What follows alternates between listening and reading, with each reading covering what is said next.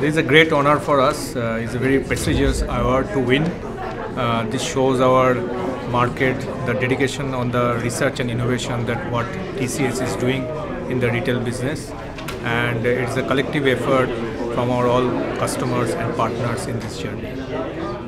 This is a, a great honor. Uh, personally, I think uh, we are investing quite a lot in the last 10 years, and my colleague can uh, explain a little bit in, in this particular journey how they dedicated their efforts. Yeah, the, the award in itself uh, very uniquely puts us in the uh, AI ML space. Uh, we talk about unified and personalized commerce. Uh, a lot of uh, retailers, uh, products talk about AI ML, but what we've done very differently is put the customer experience in the front uh, to a lot of research and innovation. So, very uniquely, we are capturing the market in the unified and personalized commerce space.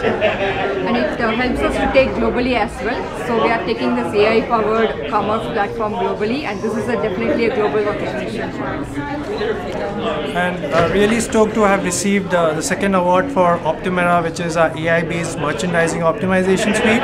It essentially helps our retail clients take better decisions faster, essentially using data and you know machine learning algorithms, be it across uh, things like how do you space your stores, how do you select uh, products and assortments that are really localized uh, based on the local needs of your customers that are in and around your stores.